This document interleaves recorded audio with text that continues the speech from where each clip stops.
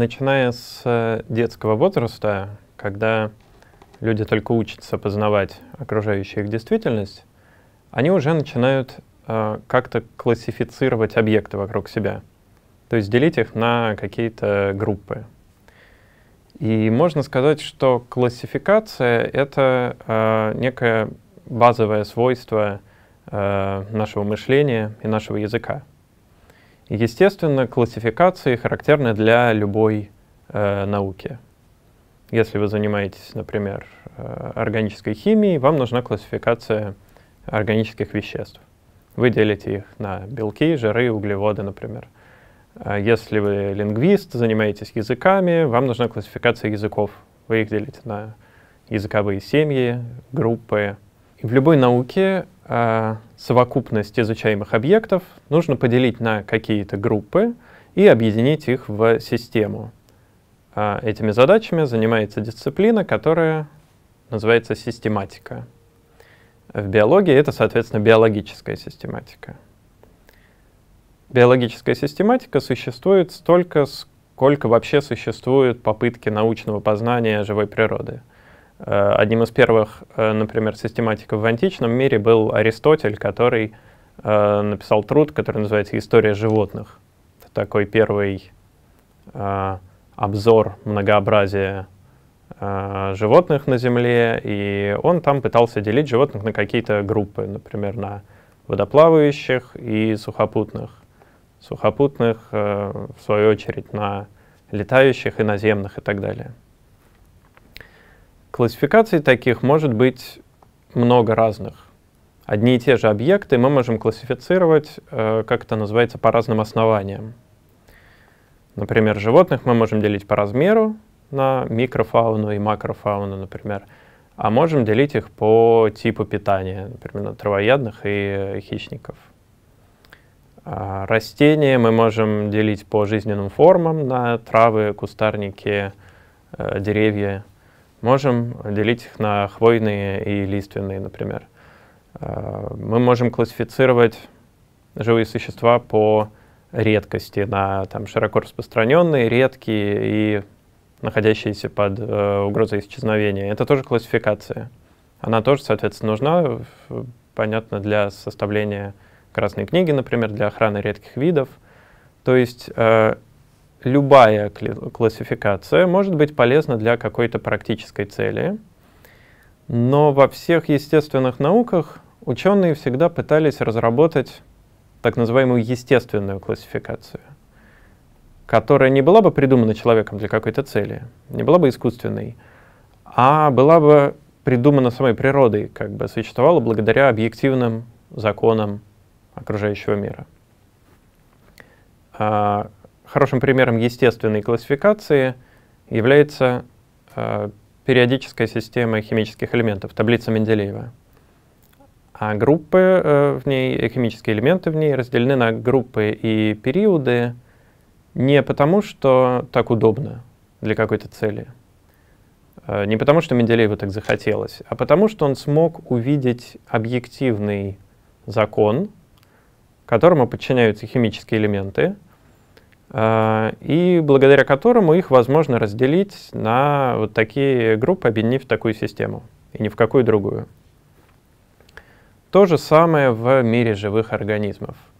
А, биологи долгое время пытались разработать естественную классификацию, которая бы не была придумана человеком, а существовала благодаря объективным законам живой природы. И сейчас, э, в принципе, практически всеми признано, что такой естественной классификацией в биологии должна являться эволюционная классификация на основе родства живых организмов друг с другом. Это значит, что мы берем э, живые организмы, объединяем их в группы с ближайшими родственниками в эволюционном смысле. Дальше мы эти группы объединяем в более крупные группы с более дальними родственниками и так далее, выстраивая иерархию э, групп или таксонов по родственности. А если изобразить это в графическом смысле, э, такая классификация будет выглядеть как дерево, э, эволюционное дерево, по-математически говоря, граф, э, в котором ветви будут э, группами животных или растений, живых существ, и разделение этих ветвей будет обозначать произошедшее в какой-то момент времени эволюционное разделение этих групп.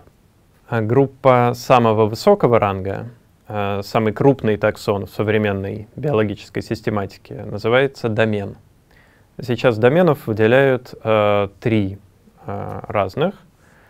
Первый домен — это эукариоты. Это все организмы, в клетках в которых есть ядро, э, растения, грибы, животные, человек, естественно. Второй домен — бактерий, одноклеточные э, организмы без ядра.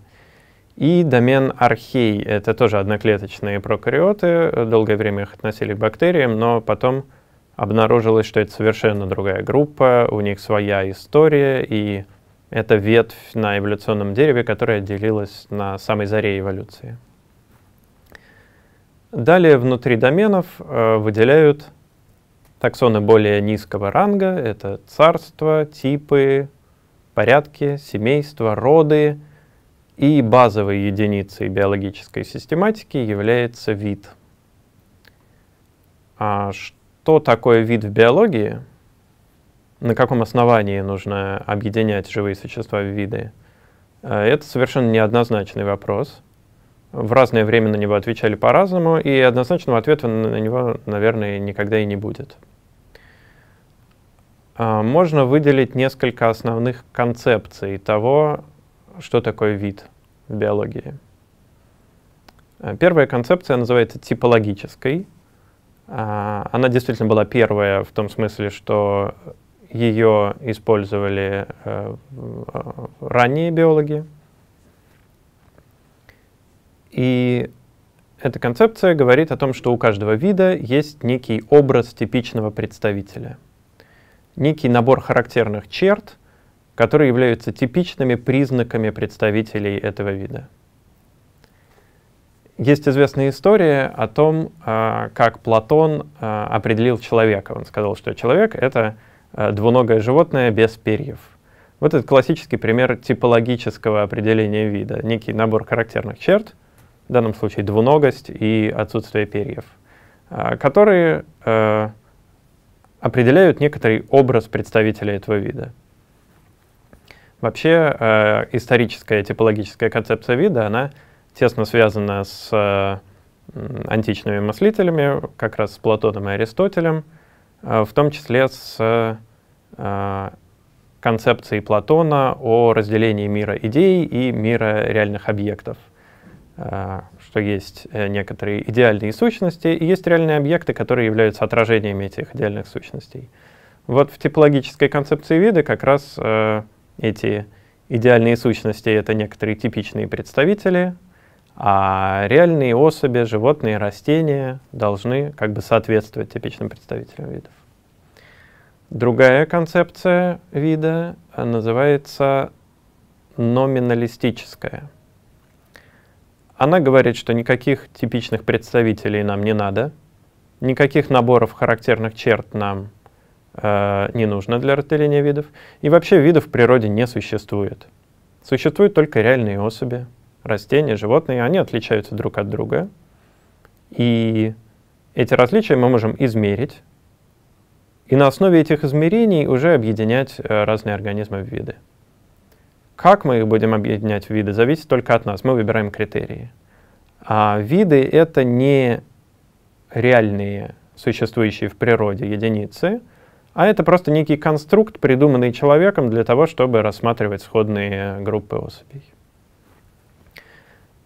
А, помимо этих двух существует третья концепция вида, которая, в общем-то, сейчас скорее доминирующая.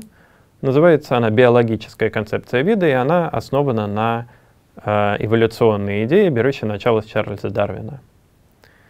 Биологическая концепция вида говорит о том, что виды существуют все-таки в реальности, это реальные единицы — но критерий принадлежности живых организмов к одному виду это не э, какое-то там соответствие типичному образу, а скрещиваемость.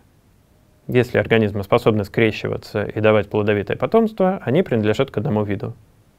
Если не могут, то к разным. А, понятно, что именно эта биологическая концепция вида, она очень неплохо согласуется с идеей вот этой естественной эволюционной классификации. То есть если группа живых существ по каким-то причинам перестает скрещиваться с другими особями этого вида, например, э, какая-то популяция животных переселилась в удаленное место, возникла, как это называется, репродуктивная изоляция, они начинают осваивать новые э, условия, адаптироваться к ним, и со временем на эволюционном дереве может возникнуть новое разветвление, возникает новый вид. А, собственно, этим и занимается эволюционная систематика, выясняет положение групп живых существ на эволюционном дереве и их родство друг с другом. В последние десятилетия у эволюционной систематики появился очень мощный инструмент для этих задач. Это методы анализа ДНК, генетические методы. А, сравнивая определенные гены живых существ друг с другом, мы можем достаточно точно определить степень их эволюционного родства. А, возникла геносистематика — направление, которое занимается классификацией живых существ исключительно на основе э, сродства их генов. Для биологической систематики это означало настоящий переворот. Э, переворот, который продолж, продолжается до сих пор. И э, классификация под воздействием генетических методов очень сильно изменилась. Многие привычные таксоны изменили свой ранг, поделились на много разных, а, и этот процесс продолжается до сих пор. Привычное всем, например, царство простейших, а, царство одноклеточных а, эукариот, сейчас перестало существовать. Нет никакого царства простейших, есть множество групп очень разных организмов, некоторые из которых друг с другом менее родственные – чем растения с животными, например. А благодаря генетическим методам многие виды и достаточно неплохо изученные виды живых существ разделились на несколько разных. И речь не только о каких-то э, простых жизненных формах, о бактериях или простейших. Э, речь идет в том числе о высших животных, о многих неплохо изученных млекопитающих, например, так, э, например, э, слоны, про которых долгое время думали, что есть два вида, африканский и индийский слон. Благодаря генетическим методам обнаружилось, что африканский слон представляет собой два, а то и три разных вида. Жирафы, которых считали одним видом, тоже поделили из-за анализа их ДНК на четыре разных вида сейчас. А многие классические биологи систематики достаточно болезненно воспринимают процесс вторжения ДНК-методов в э, систематику.